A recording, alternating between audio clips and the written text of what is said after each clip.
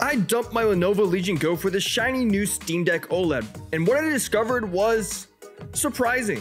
But before we get into my personal experience, let's dive into a quick overview of each device. The Lenovo Legion Go has a starting price of $699 with 512 gigabytes of storage and $749 with 1 terabyte of storage unless you're lucky enough to find it on sale. The Steam Deck OLED starts at $549 for 512 gigabytes and $649 for the 1 terabyte model. The Steam Deck OLED at face value may appear significantly cheaper than the Legion Go, but you have to consider that the Legion Go uses a much stronger chip and makes use of an 8.8 inch 1600p 144Hz IPS display versus the Steam Deck which uses a weaker chip and has an 800p 90Hz OLED screen. Both have 16GB of LPDDR5 RAM and both come with very solid carrying cases. However, the deck has a 2-in-1 case which I really appreciate. The main thing above all else that separates each of these handhelds is the software. The Legion Go is running a full-featured version of Windows 11 and the Steam Deck OLED is running Valve's custom SteamOS which is based on Linux. Each of these software choices have their pros and cons, which make a huge difference difference in day-to-day -day usage. I will get into this more in depth later in the video, but considering the Legion Go has double the resolution,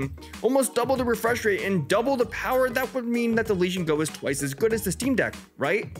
Well, in my personal experience with both devices, I've actually learned that things aren't that straightforward. The first thing that became immediately noticeable to me after switching to the Steam Deck OLED is how much lighter or more comfortable it is to hold. The Steam Deck's weight comes in at 640 grams and the Lenovo Legion Go weighs 854 grams. While the added heft on the Legion Go may feel more expensive at first, it quickly becomes very tiresome when you're holding it for long play sessions because the controllers really dig into the palms of your hands. I also have grown to appreciate the joystick and button orientation much better on the Steam Deck OLED. The joysticks are placed at the top of the device with the buttons and D-pad to the right and left of each joystick. If I had to make a comparison, it would be to the Wii U gamepad, but despite how off-putting it appeared to me initially, it surprisingly felt completely natural to hold the moment I picked it up. The thumbsticks are also much more normal sized than the Legion Go, which has smaller thumbsticks, and I do find them to be more comfortable as well. However, the Legion Go uses Hall effect joysticks, so you will never have to worry about them drifting, which could be a huge deal breaker depending on who you ask. But the joysticks on the Steam Deck OLED are replaceable if need be. Side note, the Steam Deck OLED also just looks a lot more adult or less gamery in design, which in my opinion is preferable for using in public or on a plane or train or whatever you guys want to use with it. But I know that aesthetics are completely subjective, so you can completely ignore this session if you really don't care or you have a, a different preference, whatever. But less subjective are the features of each device. The Steam Deck OLED has two trackpads of haptic feedback and often makes maneuvering the UI very smooth and easy. The Legion Go also has a singular trackpad, however, it wasn't nearly as responsive, but I still appreciate that it had one because it made using Windows much easier.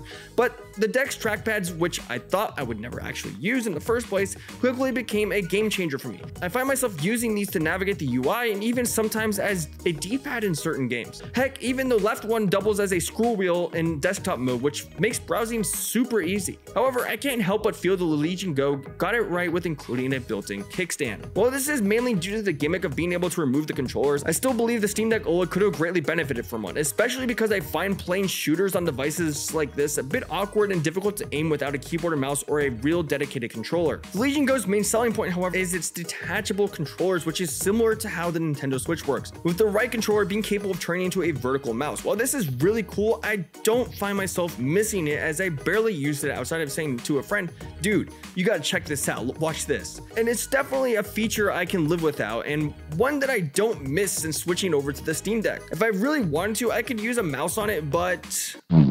Wait, I would need a kickstand for that. Um, yeah, Valve, you you guys better have a kickstand next time around. Fingers crossed for the Steam Deck 2 kickstand. Now, let's talk about the elephant in the room, and that is the display of the Steam Deck OLED. As we discussed earlier, the deck uses an 800p OLED display capable of HDR 1000 nits, and that OLED display is immediately noticeable in games like Cyberpunk 2077, Elden Ring, and Doom Eternal, which make great use of HDR. But the real game changer here is the contrast paired with HDR. The OLED obliterates the Legion Go when it comes to contrast and in some cases makes a more dramatic difference than better graphic settings do. Originally, I thought that going from 1600p to 800p would be a dramatic change and would instantly make me regret my decision to switch to the Steam Deck OLED and I would be returning it immediately. But in reality, I barely noticed the difference and I promise you, it's not because I have bad eyes. I, I checked. I, I wear contacts, guys, okay? I go to, I, I see an eye doctor. But I think this is mostly because the Legion Go has its best performance and battery life running at 800p 1080p internally on the 1600p screen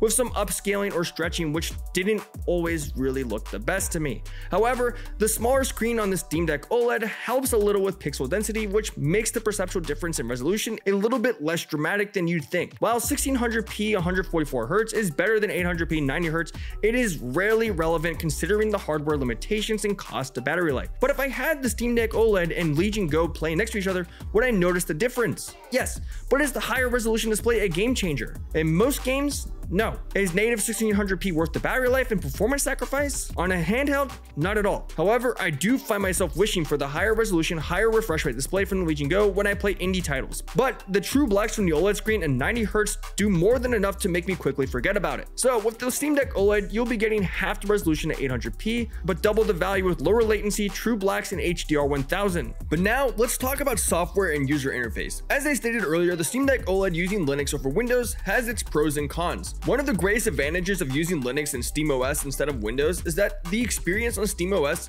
is console-like in that I can just pick up the Steam Deck OLED, tap the game I want to play, and not have to think too much about it. In my opinion, this is the ideal entry point into PC gaming for console gamers. SteamOS and Linux are also much better optimized for gaming, and it allows the weaker chip in the Steam Deck to really shine through, as there are very few games, as Digital Foundry puts it, that are too big for Steam Deck. However, using a Linux-based OS has its drawbacks as well, like the fact that you can't play Xbox Game Pass on here. While this isn't a huge issue for everyone, it is however a bit of a bummer because Game Pass has a massive library of games that I would love to test on the Steam Deck OLED but can't without purchasing each individual title on Steam.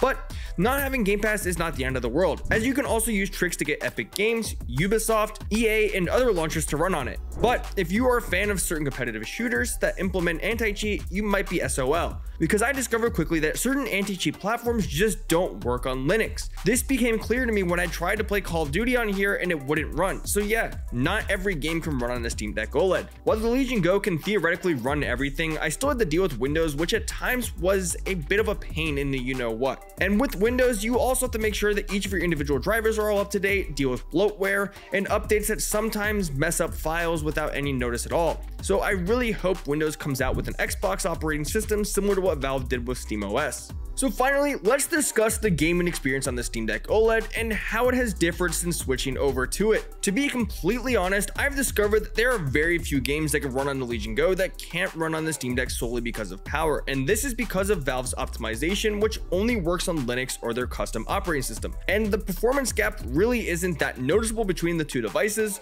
when you're not comparing them directly side by side. Will you have to lower settings? Yes, but are the lower settings really that noticeable at 800p? Not really. Is the frame rate lower? Yeah, but you can lock it at any refresh rate between 30 and 90 FPS and call it a day. There are some frame drops in modern AAA games, but it's to be expected on a handheld that's running at 15 watts on a battery. But like I said earlier, pretty much any game with HDR properly implemented in it is going to look great on the deck OLED and in some cases blows me away at how much of a difference it can make. But darker games, especially like Resident Evil 4, really shine on the Steam Deck OLED and make me forget about the lower resolution, lower FPS, and lower settings because of the contrast and HDR implementation. In my opinion, this is the definitive handheld for horror games, at least for now. Plus, the battery on the Steam Deck OLED is the best I've experienced on a handheld this year. The amount of performance you're getting with the length of battery life is quite frankly amazing. The Steam Deck is still the king of 15 watt gaming as the Legion Go tends to struggle at 15 watts in comparison. This is where the Steam Deck really separates itself from me. The whole point of having a handheld gaming device is to be able to play your video game library on the go. And the Steam Deck OLED allows you to do that for the longest amount of time.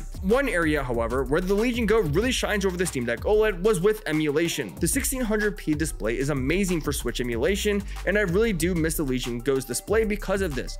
It's like having a souped up Nintendo Switch before it even comes out. However, the Steam Deck OLED can still emulate games perfectly, but you are stuck with 800p. But the lower res screen really doesn't matter for older games that might actually benefit from the OLED, especially those that are natively 4x3 due to the lack of a backlight. At the end of the day, choosing a handheld is challenging because each device has features I'd love to combine into my ideal gaming device. If I could, I'd take the HDR OLED, battery life and form factor from the Steam Deck, and I'd also take the power, screen resolution, and Hall effect joysticks of the Legion Go to create a super handheld. But everyone seeks different things in their handheld gaming device, and you really can't go wrong with any of them. But overall, what genuinely amazed me throughout this experience was how the decrease in performance transitioning from the Z1 Extreme in the Legion Go to a less powerful APU in the Steam Deck was almost imperceptible to me. I could tell there was a difference, but it quickly became irrelevant to me when I discovered all the other advantages the Steam Deck OLED has over it. The Steam Deck is more comfortable, it has a more console-like gaming experience, it has an amazing 800p 90Hz OLED display with true HDR,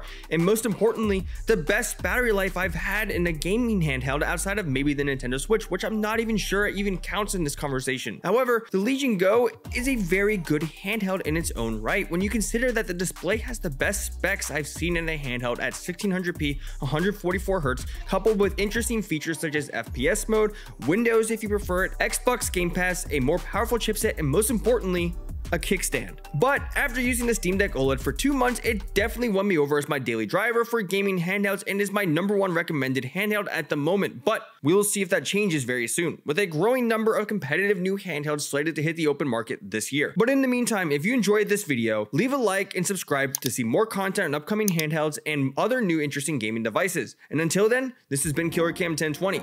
See you in the next one. Peace.